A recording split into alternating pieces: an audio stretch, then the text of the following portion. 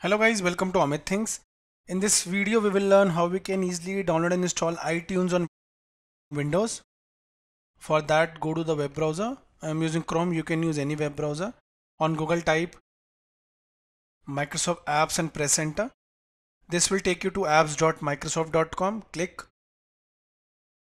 Now whatever application you want just type here.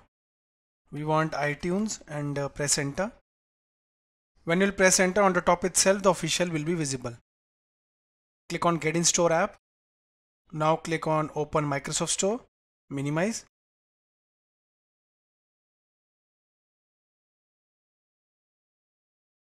Now you'll be getting an option of get. You can see it is officially from Apple only. Click get and uh, it will now download and then install on its own.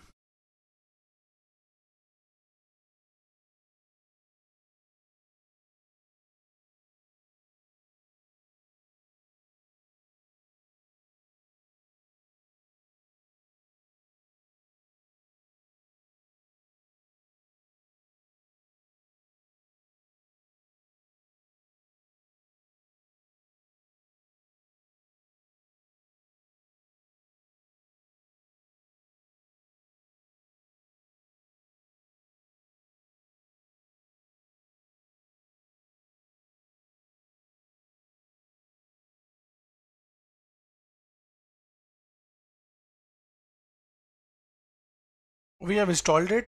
Click open. Click agree.